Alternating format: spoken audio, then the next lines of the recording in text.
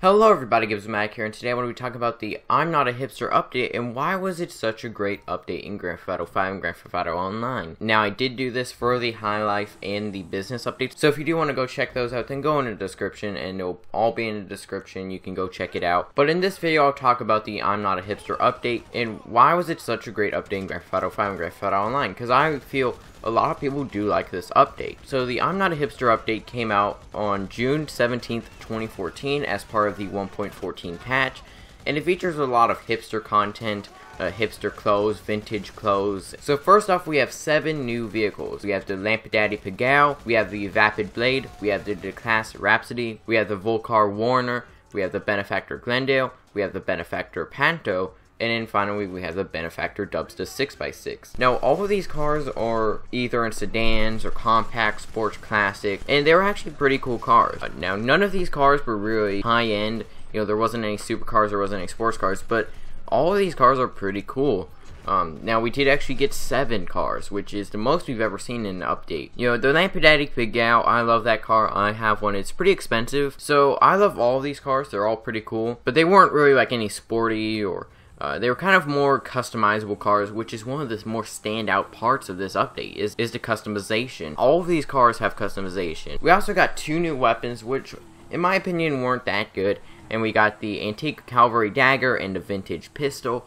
In my opinion, these weapons were kind of novelty items and not really uh, something that you're going to use often in death matches or LTSs and stuff. So next we have clothing, and clothing options in this update were amazing in my opinion. We got a lot of new t-shirts, a lot of new uh, suit jackets. We also got a few hats and stuff. And they were all pretty cool. The masks in this update were pretty cool. They were all kind of these animal mask, like the raccoon mask. We got new tattoos. We also got new hairstyles. Another thing about this update is that Rockstar never gave us any warning for this update. It was just kind of a update that came out. Uh, nobody really ever knew that was coming out. Of course, there was leaks, but they never uh, announced it. Now, this update did also uh, make a few additions and fixes.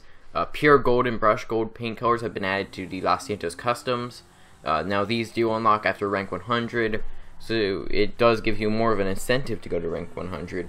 A pure black window tint has been added to Los Santos Customs. We also got a few new horns. We also got eight new individual player celebrations. And they also made tear gas do more damage. I want to know why you think this update was good. If you do like this update, I know it didn't really have any new supercars and didn't add any new sports cars, but it was pretty unique. Uh, you got a pretty good cars. We got, you know, the Pigalle is one of my favorite cars in GTA 5.